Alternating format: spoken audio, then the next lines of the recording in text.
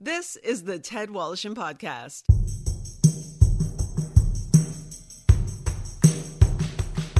Brought to you by Tom's Place. For the finest in men's clothing at unbeatable prices, it's Tom's Place at 190 Baldwin in the heart of Kensington Market.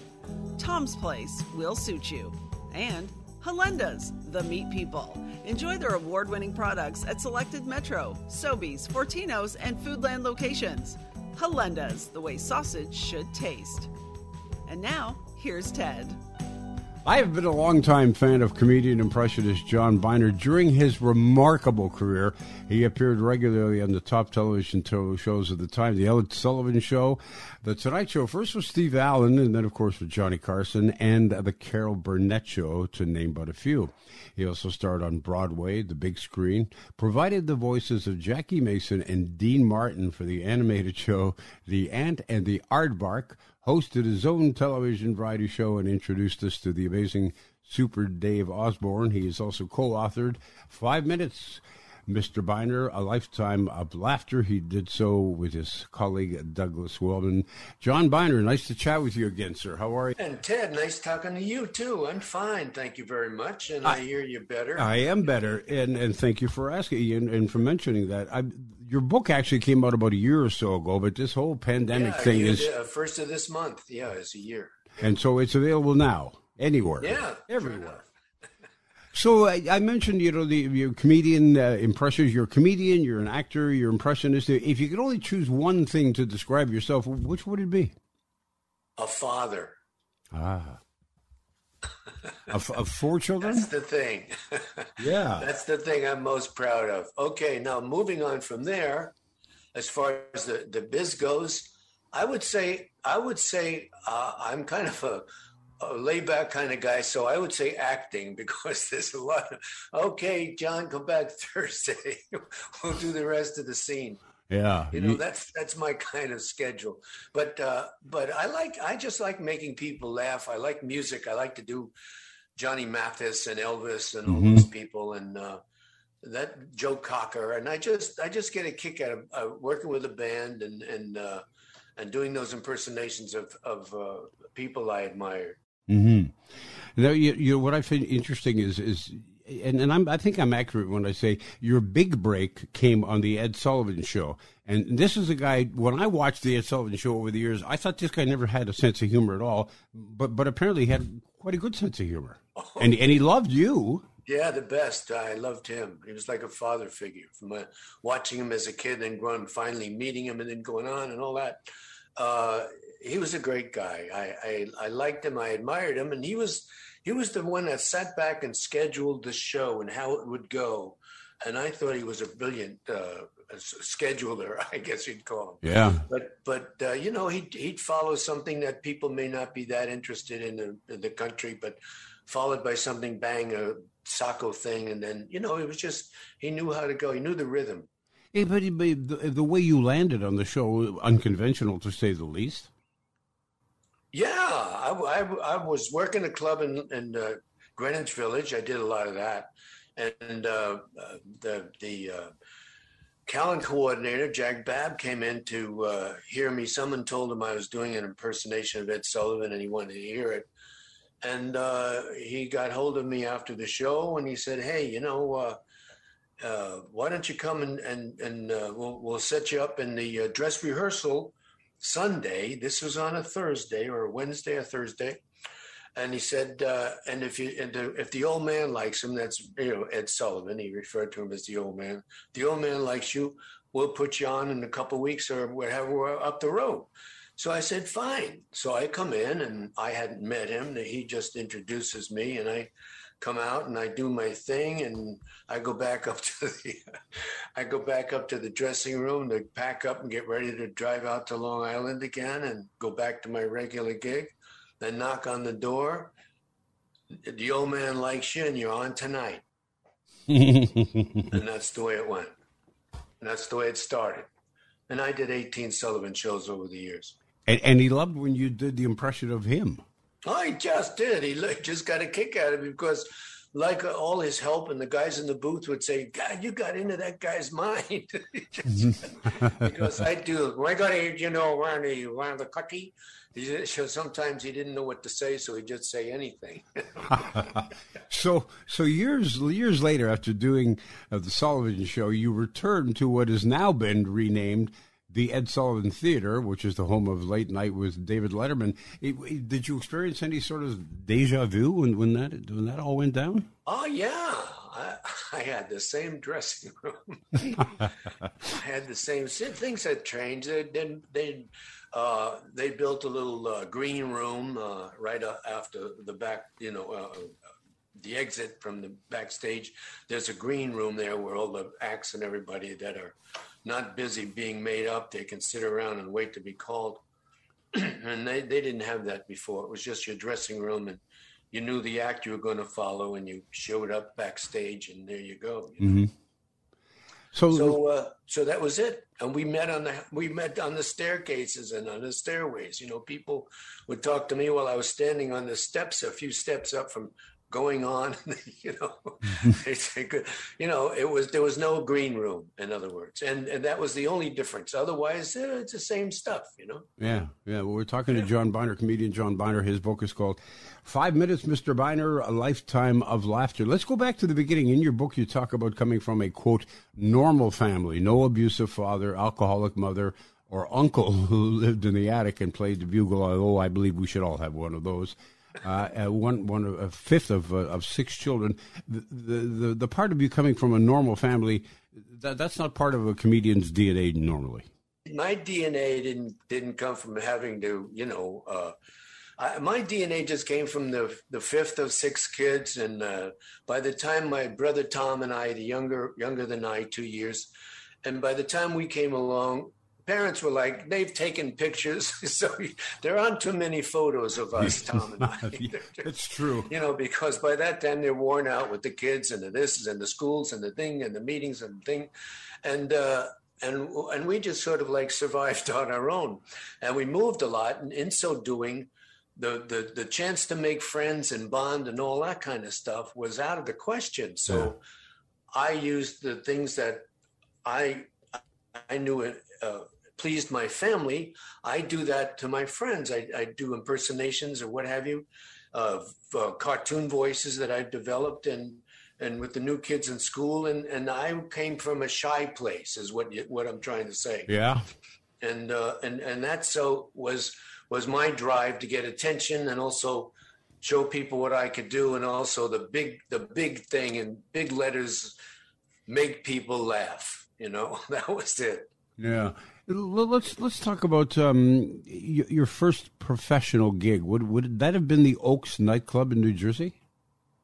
That was out in Long Island. I was born and raised in Long Island, various places, from in the city of Queens and out to Long Island, as far as Bohemia, uh, not far from Sayville. If people are listening and they know what I'm talking about, and uh, and and my uh, my first the the uh, the, the the question was what I got into fa- going back and seeing these th- pictures of my family and, and uh, what was the question?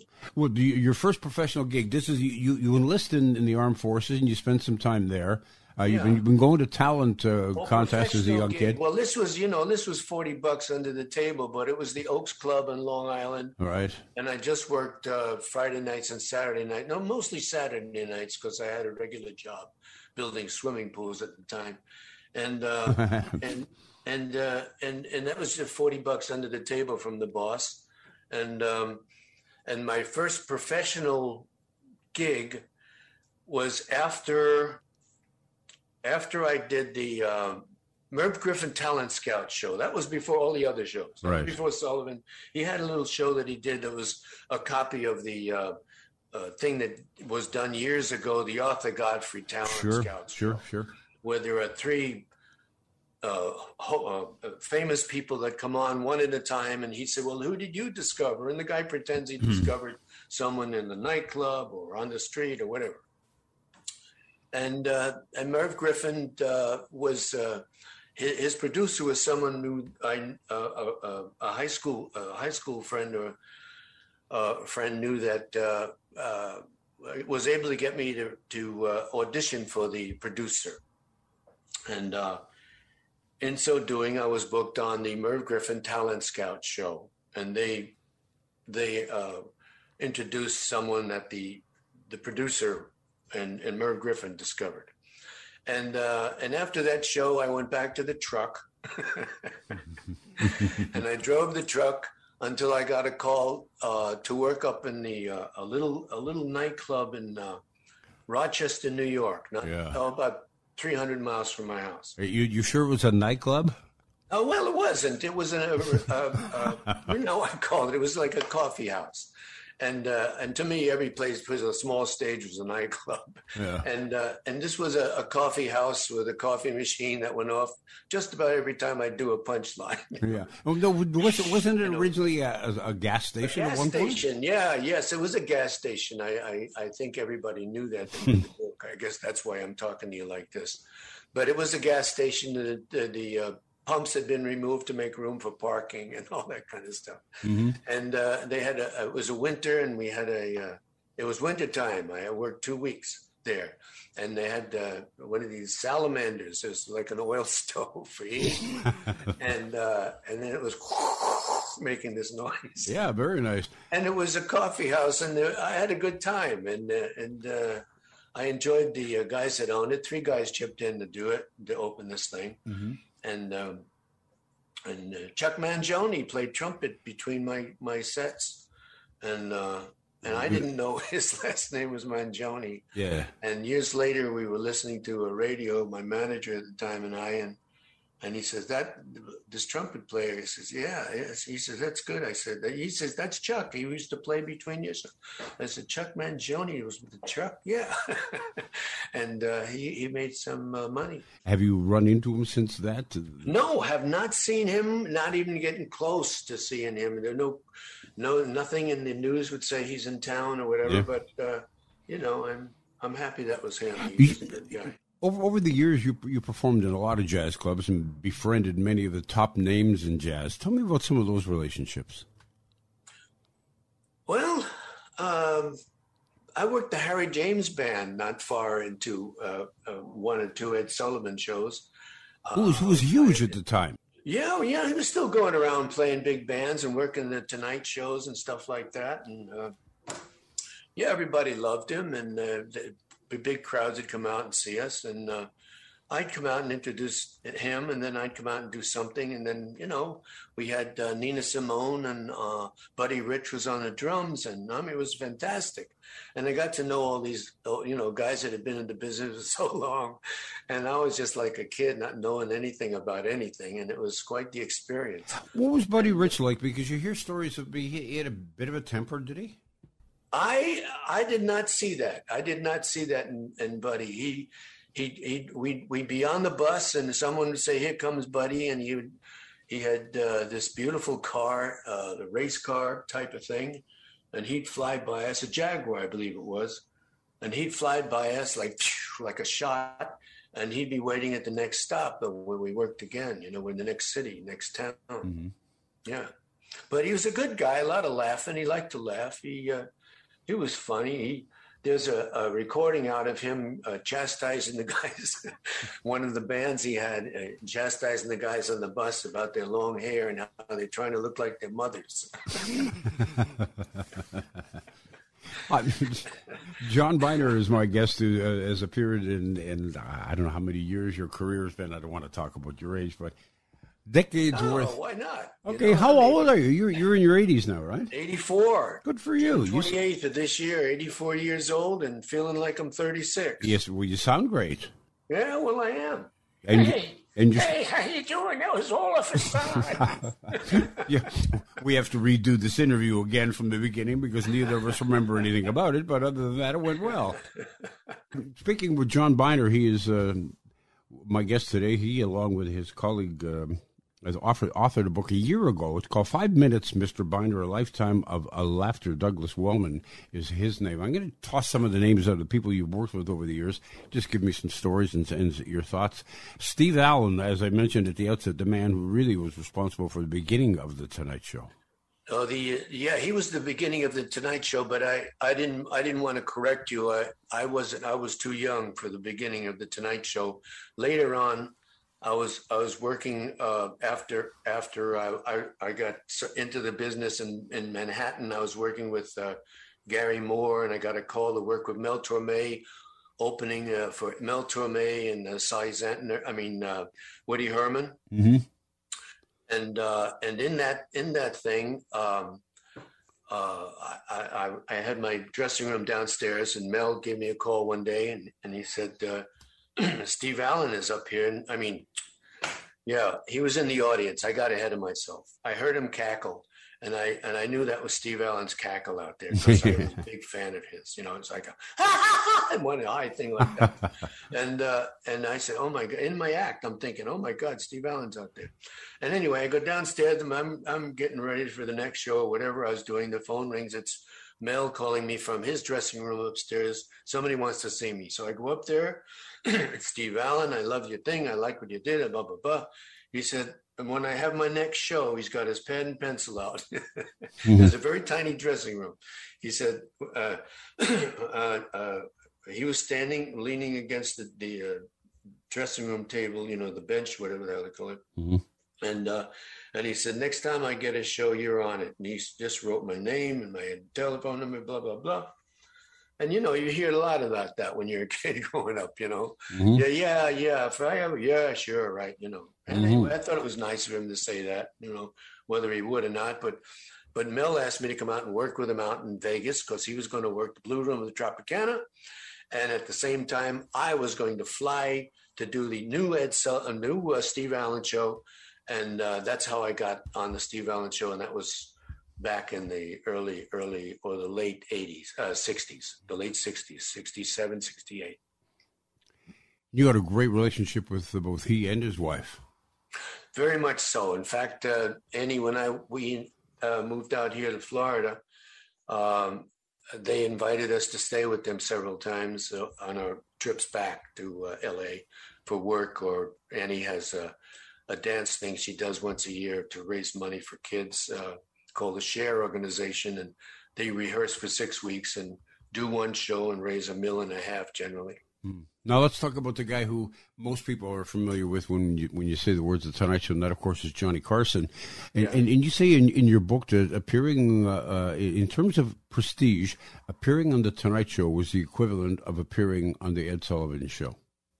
Yeah, absolutely. It was a, it was an exciting thing for people at night, and the Ed Sullivan Show naturally was exciting for people on Sundays. We all sit around the one mm-hmm. television set and and watch uh, the, the, wonderful acts that he'd have on the show and the comedians and uh, plate spinners and what have you. You know, he had them all. If you had if it was out there doing something, he'd have them on the show, and. Um, it was uh, the Tonight Show was the big thing, and, and and as I say, the working it was it was a good thing for comics because if they got on the Ed Sullivan show and the Tonight Show and they were working a nightclub, there's usually a dinner show where they they the people that, that were there to see the uh, you know the early show mm-hmm. were uh, people that watched the Sullivan show and the people that come in to see the Ed Sullivan show or rather the late show was uh, were the people that watched the Johnny Carson show. Yeah, it makes sense. And it's yeah. interesting that you you and Johnny Carson share a share uh, a common trait, which many people oh, might yeah. find surprising, which is the fact that you alluded to it briefly,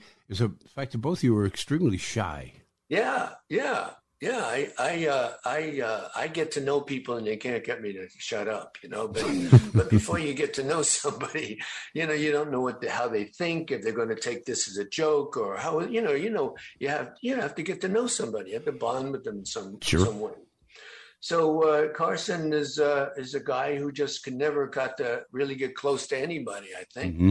and he was uh, just uh, his own man, and he knew what he wanted and and at the same time, he never had much conversation. And uh, and uh, and when you'd be away for six, eight, ten months, whatever it was, till you uh, since you'd done the last show, and uh, he'd come down to the, the uh, makeup room to have his hands done or something, and and he'd always uh, start a conversation by doing the the George Jessel impersonation as he, best he could, rather than saying, "Oh, hi, John, how you?" yeah. and and that would be it that would be it. Tell me about Carol Burnett and your time spent with her. Well, I tell you, Carol Burnett, pardon me, is like having a heck of a sister. Mm-hmm. You know, I mean, she's just good. For, I mean, she'll do it. She, she's just great. She's just fantastic. She comes into the room. There's no fuss, no big deal. Who? Oh, here comes. It's just, hey, Carol. You know, she's right there, and she's she's one of us. She's she's you know, she's just she's that comfortable to be around. Is just uh, is is a better way, I guess you'd say. But she is. She's uh, she's Carol Burnett. And, and talk about a selfless performer. Like she is, as funny as she was, she had no problem standing back and letting uh, the Harvey Korman and Tim Conway just take over the show for the next twenty minutes. It's always good. It's always good. And Steve Allen was the same way. He he let sit sit back and let people do their thing and get a laugh and and laugh them himself. Yeah. Yeah. It's a good way to be. And and they, they you know, they they have a better life because they're having a good time. Ted Woloshyn returns in a moment. Hey, it's Ted Woloshyn for Tom's Place. You know, our fall merchandise is starting to arrive, but we still have massive amounts of summer clothing that needs to be cleared. Blowout sale prices on virtually everything like Cone suits, regularly six fifty now three ninety nine each or three for thousand dollars. Plus beautiful sports jackets and designer dress pants, fifty percent off. Check out our deals throughout the store with huge savings off our already below retail prices. If you need a suit for an upcoming special event, we are Toronto's one stop suit shop. For the finest outfit for every occasion, there is no better time to find the perfect addition to your wardrobe. Everything is on sale to make way for our fall merchandise. Tom's Place is open weekdays from 11 to 6 10 to 5 Saturday, 12 to 5 Sunday. Visit Tom's Place, 190 Baldwin in Kensington Market. Tom's Place will suit you. Now back to Ted Woloshyn. John Byner is my guest today. The first time you and I spoke, you, you talked about uh, your relationship with Elvis, and not the closest of friends, but you had you did have a relationship. No, yeah, him. we ran into each other, and yeah.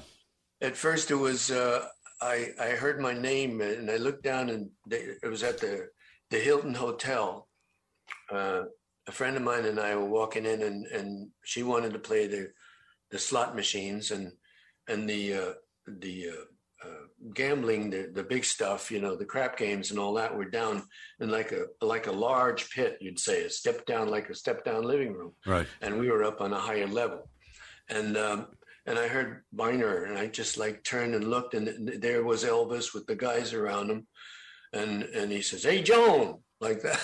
I, said, I said, "Hey, hi, Elvis." I said, "How you doing?" He says, "Going down the tubes," and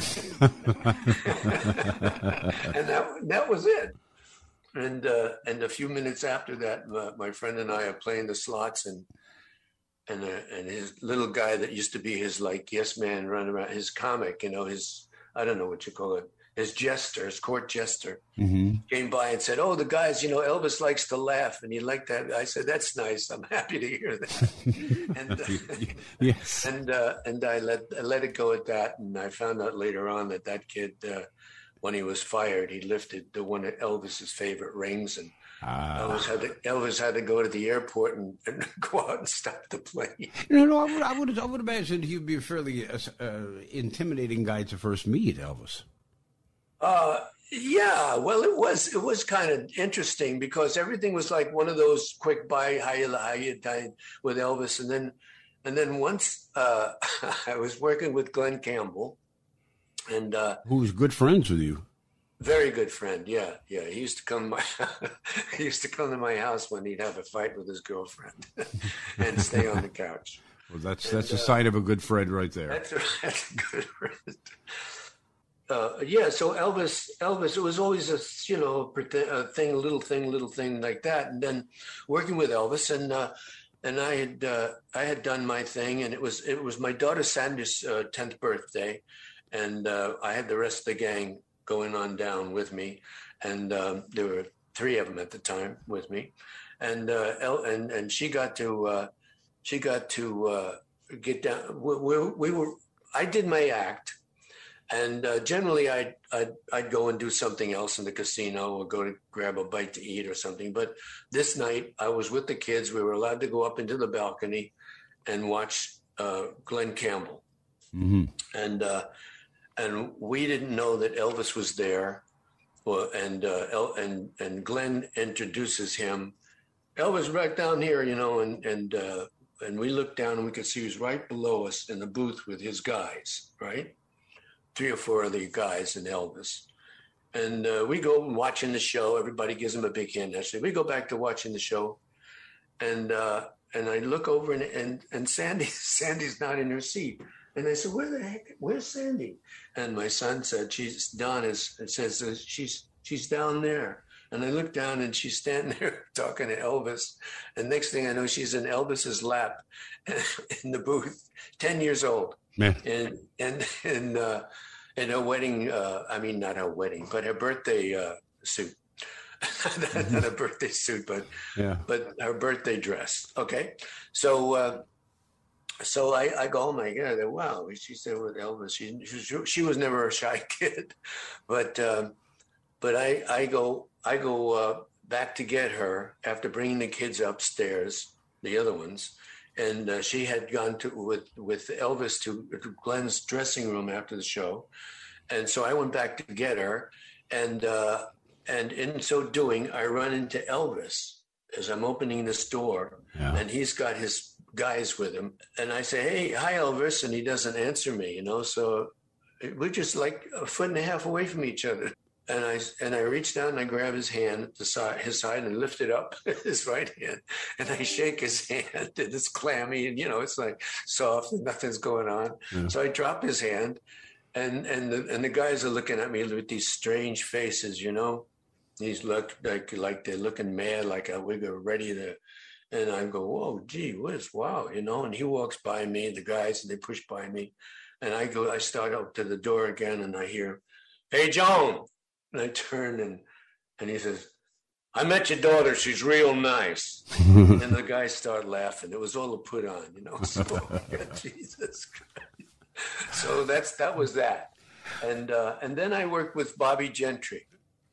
And uh, and, and Elvis came to see the show and uh, uh, I, I, I, I was down in my dressing room. I heard, I heard uh, a friend of mine. I let him sit in my dressing room, and uh, the drummer in the Bobbie show, and uh, he would tell me after I'd take a ride out in the in the uh, in the fresh air, I'd go out the mountains between shows, and roll the windows down the car and get some fresh air because they were allowed to smoke in those days in the in the rooms, and yeah. it got to you after a while, and.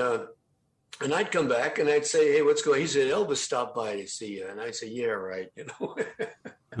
and sure enough, one night I'm sitting around with him, in the dressing room. It's raining out or something. The phone rings, and it's Bobbie from her dressing room upstairs. Somebody wants to see. I go up, I knock on the dressing room door, and Elvis opens it. Mm. and he says, "Sorry about the hat." He's got this cowboy hat and black cowboy black outfit. And he says, "Sorry about the hat. I'm having a bad hair day." so those those are words that you'd never expect out of Elvis's mouth. I'm having a bad hair day. bad hair day.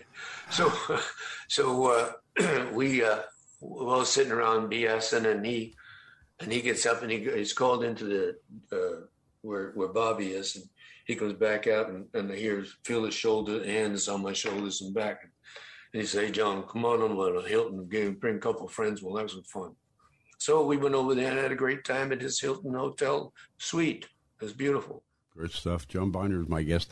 Uh, there's so much in, in your career that you've that you've done. We could spend hours and hours, but but but I do want to talk about uh, your your time spent with with the great Allan Blye and Bob Einstein. Started back in I guess about the early '80s. Pay TV were pay TV was just coming into being, and they came to you with an idea.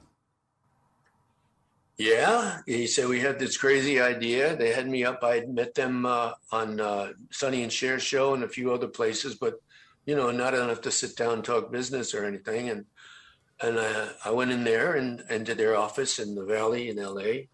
and uh, and they said they had this idea to do this kind of wacky show, and uh, they were going to call it Bizarre, and it's going to be a little bit uh, you know, risque and a little bit more than the Benny Hill show and all that kind of stuff. Yeah. I, being a ham, figured, wow, I can do all these characters and stuff. Of course. And uh, and uh, it, I went up. We, we did a few shots around uh, L.A. and then uh, we all went up to uh, your beautiful country, to Toronto, CFTO, and uh, we did the Bizarre Show for five years in a row. And and Bizarre was, and people don't realize it there were actually two versions. The version I guess that we saw was on CTV, which is the main network, which is the cleaned yeah. up version. Yeah. But the one that Showtime showed showed a lot more. Well, that was that was the whole idea. You know, Showtime wanted something a little a little different that uh, you know because it was uh, cable and there weren't going to be any people saying, "Oh, you can't say that and you can't do that and you can't do this." And uh, we got to we got to do all kinds of crazy things like the bigot family and uh, mm-hmm. and, and and as as you're leading to the uh, the girls without bras on and this that and the other thing you know and and um, you know, it was all in the script, and they're making me out to be a pervert. You know what I mean? but you know, I, I got a little flack from that show from people that wanted a real clean act and a, a live act, and I had to explain them. To, I, I, it was all it was all for cable television. What can I tell you? And, and we had the we had the opportunity to do to use the the f word, for example, lots of times. But I think in the five years we did it, in 125 or 30 shows we did, it was just two times, and they were in perfect places. Yeah. Okay. the, the, the, I mentioned and, uh, that the Bizarre, Bizarre was, was, was produced by um, a Canadian, Allan Blye, and also yes. Bob Einstein. Now, Bob Einstein, of course, went on to become Super Dave Osborne. So many things, yeah. Yeah, Bob and what, a what a great talent. And a, and unfortunately, un, yeah. until he died, he was, I guess he was a regular on Arrested Development we were we were tight tight buddies for a long time after that, enduring. And, uh, and, and then for years after the show, I mean, we went off in 85, 86, uh, years after the show, up to like just a few months before he passed on, every month or two, the phone would ring and, and I'd hear this very familiar voice start, just start a joke without saying it's me or what, how are you or anything. it would be like, uh, bring, bring. I pick up the phone. Two guys walk into a bar. You know, he had that. He had that voice. Who sounded like he'd been drinking. You know, I wouldn't have to ask who it was naturally, but uh, you know, we had because he had that voice. It sounded like he'd been drinking for like voice. Yes, distinctive voice. Yeah. And when you get close to the end of a joke, this always got me. I'd wait for the even if I hadn't if I had heard a joke, I wouldn't interrupt him. I'd just wait, and I knew where the end was coming because his voice would change because he'd get excited that he's going to tell you the punchline, and it would be like this. so they come walking out, and he's got the shovel in his hand.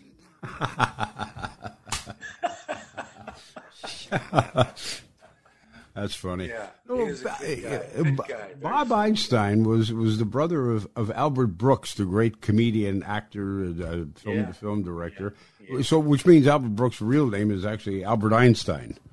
in, a, sense. And, and, who would who would name their kid Albert Einstein? Is the question I have in my mind.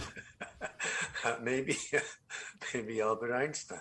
You know, you talk in in in in your book, uh, John, about a, a, lot of the beginnings of your career before we before you were professional. Back when you were just a young kid, you auditioned at talent shows all over the place. I mean, there were talent shows well, yeah, left, right, and center. That was happening around the town, the church talent show. It's you know uh, a talent show in in the, the, little town next to us or something. Any place I could take a bus or walk to, I would uh, I'd uh, I'd throw the jacket on and go and, and do it.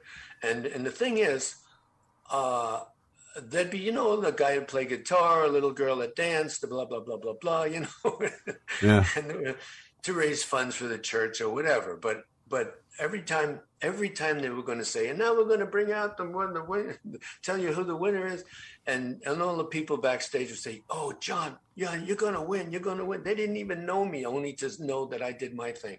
You're going to win. The guy that did the voices, you're going to win, you're going to win.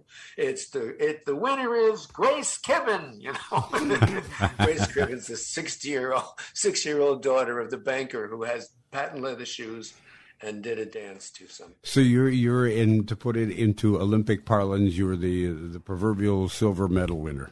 That was this was. no, if there was anything on the bronze. okay. It, it, was, you know, you go home a little. Then I got the feeling, oh, the whole thing is a fix anyway. You know, yeah. Why do it? It's just all, you know, it's all set up. They know who they're going to pick anyway, and what the hell's the difference? Which is what a lot of people think about a lot of talent shows that are on television today. But that's oh, ta- oh that's all you have now. I know. that's all you have is talent shows. Amazing. you know what? It's very inexpensive to do because they're not paying anybody anybody any money. Yeah, they're just you know, and the sets are all the same and all that kind of stuff.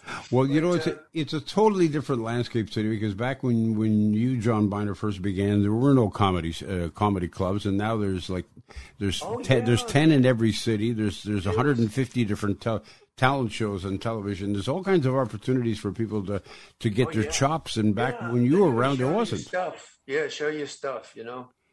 But back when you were there, that was that was like it was almost like you had to build your own stage to perform. Absolutely, absolutely. Right? Great stuff for anybody who's just beginning in the entertainment industry or anybody who's in it. Uh, this is a must read.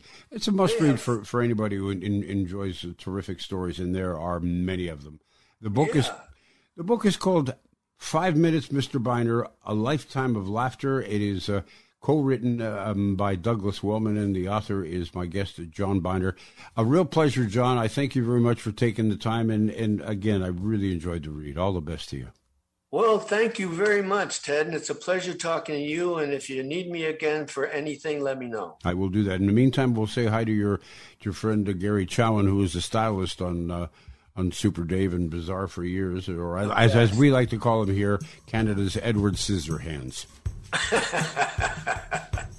He's the best and a terrific friend. He is indeed. All the best to you, sir. Yeah. Take care. The Ted Woloshyn podcast has been brought to you by Tom's Place. For the finest in men's clothing at unbeatable prices, it's Tom's Place at 190 Baldwin in the heart of Kensington Market. Tom's Place will suit you. And Halenda's, the meat people. Enjoy their award winning products at selected Metro, Sobeys, Fortinos, and Foodland locations.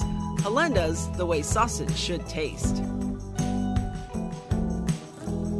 The Ted Woloshyn podcast is produced by Joey Roselli. Technical production by Paul Gatt. Music by Bike Thieves. I'm Becky Coles. Submit your questions and comments to ted at twmedia.ca.